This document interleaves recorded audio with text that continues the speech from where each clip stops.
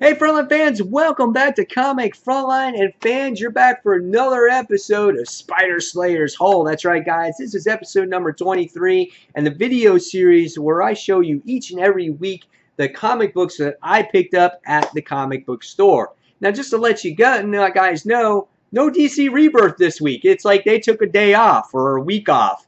And next week I'm sure we're going to be bombarded with a ton of Rebirth. So what did I get since there was no DC Comics? And I'm not getting that much Marvel these days. Well, I guess this week there might be a more heavily uh, Marveled week. So here is the black mysterious bag of comics. So we're going to stay here and get the comics out. And hopefully I don't ruin my comics in the process. All right. All right, here we go. So bags on the floor. All right. First things first, I wound up getting... Jeez, what a mess. All right, bags and boards. Got to move those. All right. Next, I get this oversized thing out of the way. Uh, Image Plus previews guide, as it shows you all the books that are coming out for Image Comics. Uh, it gives you an idea of all the awesome independent books out there. And it also has Here's Negan, uh, Part 5 in there, too. If you guys haven't checked that out, go ahead and check it out. Each month, I cover uh, the part of Here's Negan. So that's the Image Plus magazine.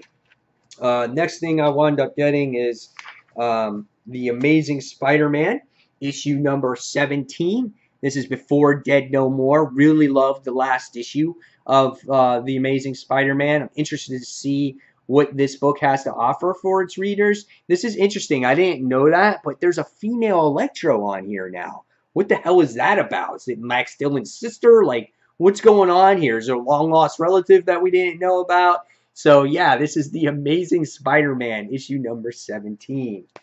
Next, we wound up getting the all-new Wolverine annual issue number one. Really excited about this book. It's got Spider-Gwen in it.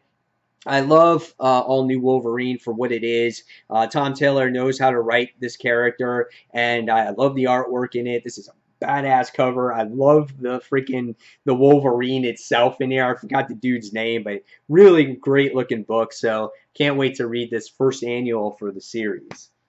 Next, we wind up getting Guardians of the Galaxy, uh, issue number 11. I love the artist on this uh, particular book that's doing this issue. It's uh, Valerio, Valerio Schiti. Um, I think the artwork is good. I look at the facial expressions there on Thing. Uh, I think he looks awesome in here. Uh, not sure where we're going to go with uh, with uh, Guardians of the Galaxy. Uh, I, I, heard there's like a final story arc coming out or whatnot, but really nice looking cover. Can't wait to see what happens there. So it's Guardians of the Galaxy issue number 11.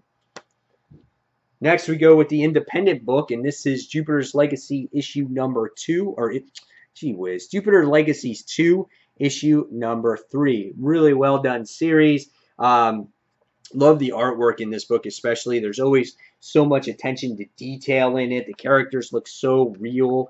Um, I love the facial expressions in here, and even the facial hair looks pretty awesome too.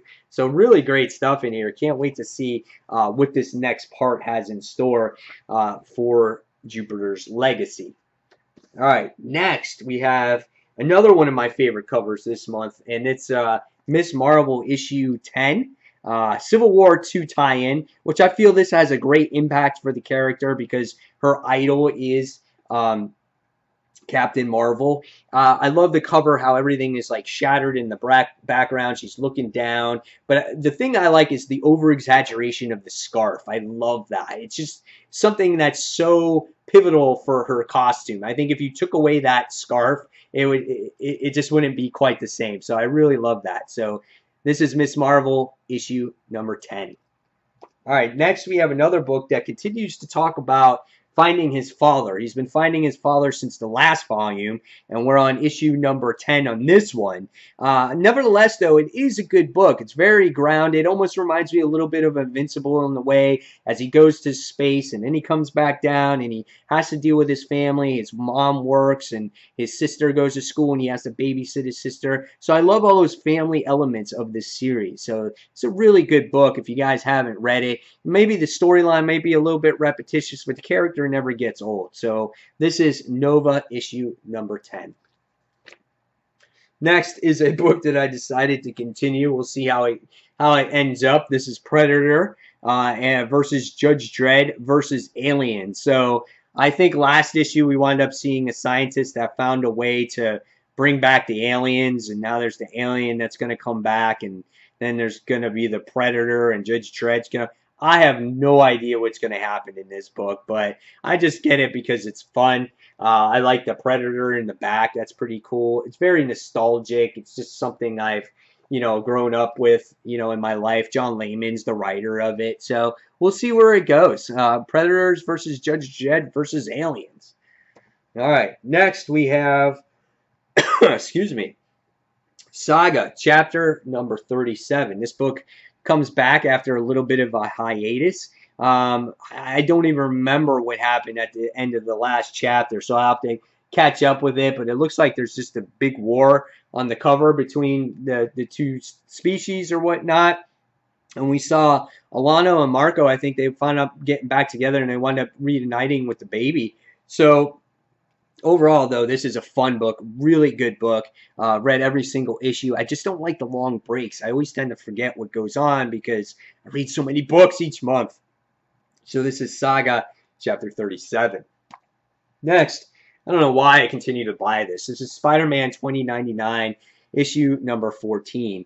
I feel that the, the characters are just so forgettable and I don't like the villains because they're just there, right? It's just they're cheap knockoffs for me.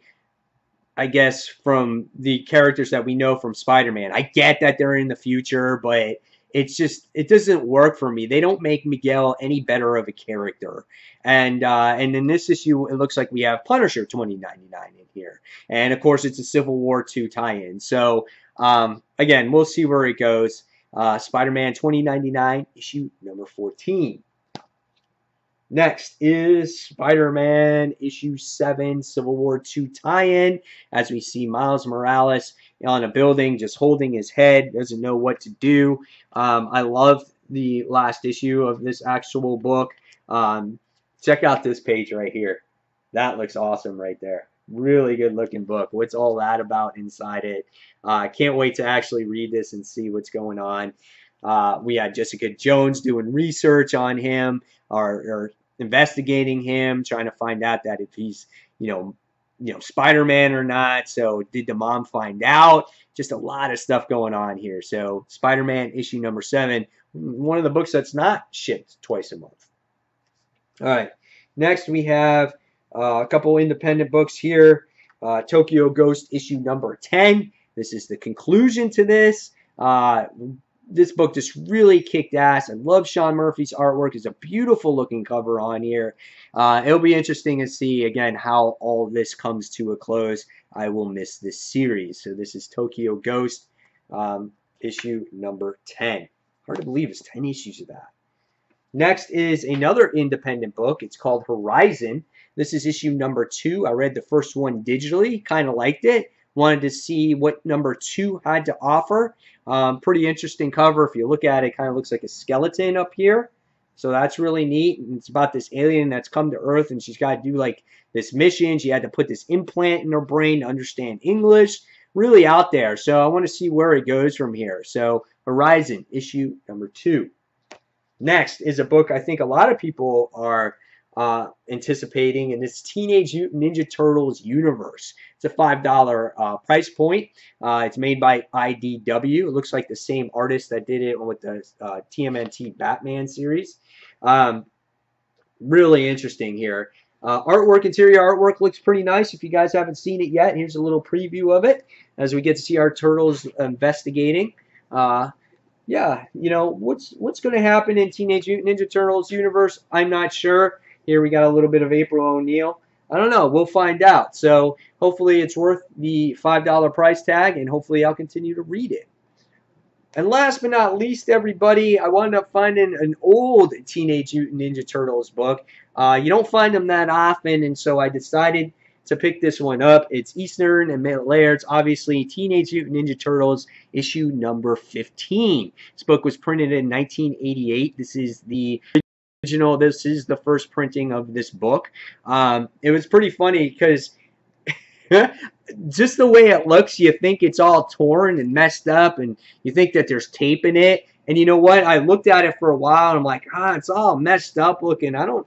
I'm like, I don't know if I, I feel that it's really worth it. So I literally I took it out of the out of the bag and board to look at the condition that it was in when I was at the comic shop. And I'm like, oh wait, it's actually in really good condition. There's no tape. There's no nothing on it it's just made to look like a, a, tattered comic book. And I thought that was really awesome. But when you look at the inside of the book, you wind up getting to see that it is in pretty good shape. All the pages are white. Uh, here we get to see some of that original artwork from back in the day um, when it comes to Teenage Ninja Turtles. And still even here, this is a little bit more modernized than the original, you know, issues 1 through 5, the ones that are really rare and really hard to find. So, uh, but nevertheless, I was really happy to find this and, and put this in my collection. And uh, so, yeah, so there you have it, guys. There is the haul for this week. Hopefully, you guys enjoyed it. So now it's your guys' turn to uh, leave in the comments below which books you picked up, which ones you're most excited for, which ones you're not so excited for. And uh, fans, this has been Spider Slayers Haul, episode number 23. Thank you for watching, and we'll see you real soon. Take care. Bye.